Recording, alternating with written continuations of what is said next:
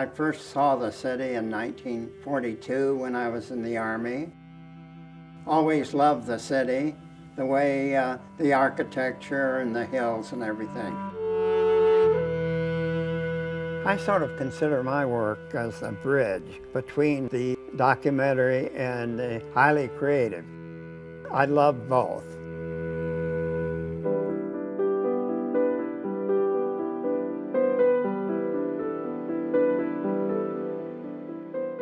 I came upon this tree in this rolling landscape in Marin County. The weather was perfect, the clouds were wonderful.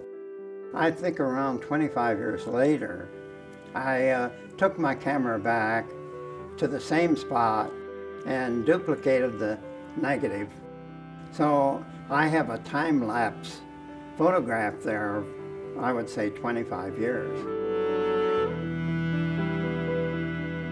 The Berryessa Valley is one of the finest, most beautiful valleys in California. In the early 50s, it was decided that a dam would be constructed there to hold back the water and make a lake. Dorothea Lange and I had a commission from Life magazine to photograph the last year of the valley.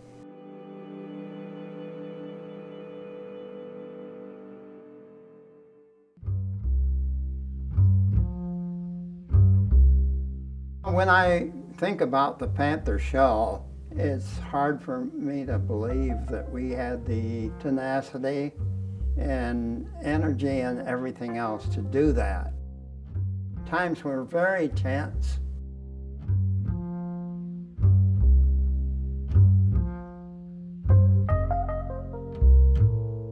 It's always a mystery of life of how you come upon a photograph and why I like it and someone else may pass over it. I think it's something that we're born with.